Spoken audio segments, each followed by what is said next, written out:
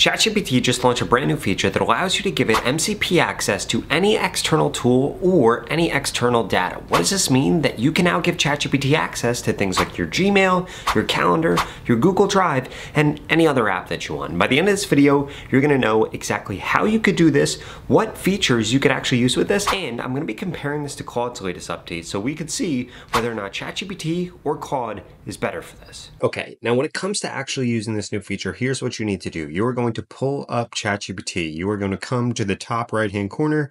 You're going to click on settings. You are now going to see connectors right here. And then as you'll see, you will be able to connect this to things like Box, Dropbox, GitHub, Gmail, Google Calendar, Google Drive, HubSpot, and all the rest of these. Now, in addition to that, if you click on create right here, you will see that you can now add a new connector. Now, this does say that this is a beta intended feature for developers only, but if we click on this, you're going to see that all that basically means is they're just trying to be very careful about what they actually give you access to with MCP because you could hook up to something that you didn't want to hook up to. So if you're going to use this, please just make sure that that MCP server is coming from a reputable company from a reputable source and not some random thing because you want to make sure that you can confidently click this that says, I trust this application and that custom connectors are not verified by OpenAI. So basically, they're just trying to get rid of all liability. If we click on read the guide right here, this will show you exactly how you can set up an MCP server, how you can build one, and all of this jazz right here. Now, I don't actually want to go through that for this video. Maybe I'll make a full video about actually setting up MCP servers with OpenAI. If you want me to do that, please leave a comment about that below. What I wanted to show you right here is that you can now connect to all these different apps. And by the way, when I said connecting to an MCP server, I meant like actually setting one up and like going through this, building a server and all of that jazz. So if we come over here, we could see that we can now connect to all these different things. But actually, before I show you this, I wanted to show you another new feature that they dropped with this. Haven't been able to find it yet, but they should be rolling it out to everybody. And TechCrunch was actually who supported on this right now. So we could now see that ChatGPT introduces meeting recording. Now, if I do a control find on here for what that actually means, when we come down here, we can see that recording and transcription of meetings is now a table stakes feature of productivity suites. It's also now available. This feature can generate notes with timestamp citations, suggested actions, and users will be able to query for information in their meeting notes as they can with documents and files across the integrated services. In addition to that, you can now convert action items into a Canvas document, which is OpenAI's tool for writing and coding projects. Now, this says that this feature actually competes with ClickUp, Zoom, and more recently Notion. So as we can see, ChatGPT is just trying to get more and more involved in your life, which personally I think is a good thing. And I think the same exact thing is going to happen when they come out with that device that you are going to be wearing on yourself. It is then going to have access to what you're doing on a computer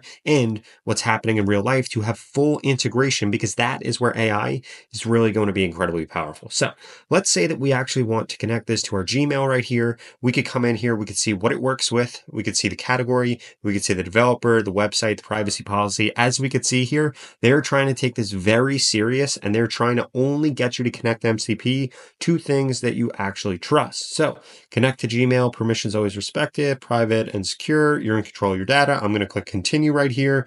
We're going to hook this up to one of my random emails right here. We're going to click connect. We could see that it is able to do all these things. We can come down here to continue right here. And what you are going to be able to notice now is that this is now hooked up and you could see exactly what it could be used for. If we wanted to get rid of it, we just come into manage, we come into disconnect, we would get rid of it right here. But now what I am going to be able to do is come over here. I can come into resource and I can turn on Gmail. So if I wanted to do deep research now, I could have it connect to the web. I could have it connect to Gmail. I can also have it connect to all of these other things. Now, this is going to allow you to run a deep research report and take into consideration all the things that you might have across all of these. For example, if we come over here into this email, I'm going to see what types of things I actually have in here so that we can run a deep research report and actually see what it So if we pull up this random email right here, we're going to see a bunch of things. So what I am actually going to do is I'm going to come come over to ChatGPT. I'm going to say, please write me a detailed report about AI automation school. So the reason that I did that is because there are a bunch of different emails in here. So could you please clarify what specific aspects you're looking for? For example, are you looking for an overview? I'm going to say all of the above. Now, this is going to go ahead and this is actually going to start doing this. And as we can see here, it is starting its research and it will be able to take into consideration anything that's in my Gmail or any of the other integrations had I actually set those up here. Now, before we dive into whether ChatGPT's MCP or Claude's MCP is better, I need you to smash that subscribe button if you want to stay up to date on the latest and greatest AI changes. I upload videos like this every single day and you're not going to want to miss them. Okay, so now that I showed you that and we have this report actually running here, I wanted to pull up Claude right here so we could see also what Claude is able to do. So what we can now do in Claude is we can come over to connect apps and we can connect this to GitHub, to Gmail, to Google Calendar, to Google Drive, and we could come in here and connect all of that. But in addition to that, if you click on right here, you can now come over here to add integrations. And what this is going to allow you to do is set up other integrations from within Claude. And again, Claude releases yesterday, ChatGPT releases today,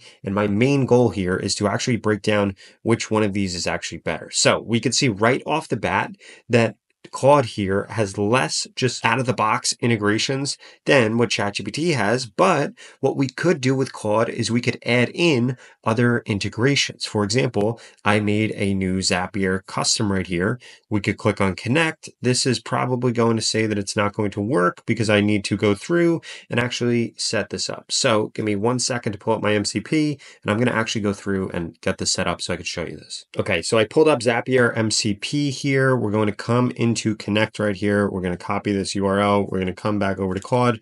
We're going to paste this in here. We are going to click add. And now what this should allow us to do, and we can see here that, you know, confirm that you trust this integration. All of these different platforms are really freaking out about giving people access to do this. We're clicking on add and we could see that this has gone through, this has been added, and this has actually been connected. Now, if I come into Zapier over here, we're going to click on configure. I am going to pull up Gmail because what we did was connect the other one to Gmail.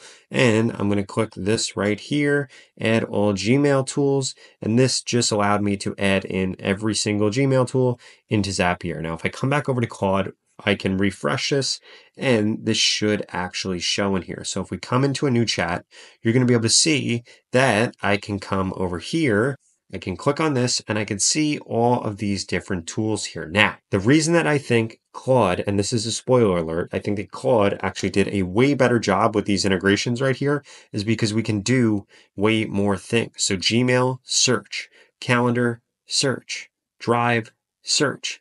Zapier, I can integrate it here and I could say something along the lines of, please summarize my last five emails in Gmail. And guess what? This can actually go ahead and actually do this now that it has this integration. So we'll see, I'll search your Gmail for your last five emails. It is going to ask me, it says Claude wants to use an external integration. I'm going to say allow always. And this goes through and actually puts in a request to my Gmail. Now, if we come over to ChatGPT, and in fact, we'll just open up a new window here, we can come over here into tools. Again, the only way for me to access my Gmail is to actually come into research and enable this right here. So I'm going to say something along the lines of, please, you know what? I'm actually just going to come over here and I'm going to just get this prompt. We're going to come over here. We're going to paste this over here. Let's see. So this actually tells me I cannot access your Gmail directly, but I will help you summarize your last five e emails if you can copy and paste them in here or forward the content. So this comes over here and gives me a bunch of different ways to do this. But guess what? This isn't actually able to do this. So even though I was able to come through here and I was able to come into settings, I was able to come into connectors and I was able to give this access to my Gmail, it only has access with the deep research feature, which quite frankly, I think is a huge miss on ChatGPT's part. Now, if we come back into Claude right here, we could see that it actually search our messages. So I have an email summary of my last five emails and all of these different things that were actually in my email. And again, I could get this to go through and draft replies to my email. I could get this to do so many other things. So if I had to choose one right now, I would say that Claude has way better MCP access because it allows you to access way more tools. It's way easier. Yes, there are less things that actually come out of the box with these integrations, but we can set up our own custom MCP servers with no issue very easily. We can also use these different tools for research the same exact way that we can with ChatGPT. But as we can see here, this ChatGPT feature is kind of useless because it just doesn't allow me to do the things that I actually want to do with all these different tools that I'm giving it access to with MCP. Now, I'm not sure if you've seen the reports yet, but Goldman Sachs just came out and said that they think in the next 12 months, AI is going to replace over 300 million jobs. So my question for you is, are you going to be one of those people that's replacing those jobs, or are you going to be one of the people that gets replaced because you didn't embrace AI? And that's exactly why I created AI Automation School that you could check out at the pinned comment below. In fact, I have a special launch pricing right now. So if you want to stay ahead of what's happening in AI and you want to learn how to automate your work with AI, how to make more money with AI, how to build AI agents without knowing having to code, or you just want me to audit your personal AI workflow so we could speed things up for you, I strongly suggest that you check it out. Otherwise, I would watch this video right here that shows you a brand new tool that allows you to build websites with just one click. I'll see you over there.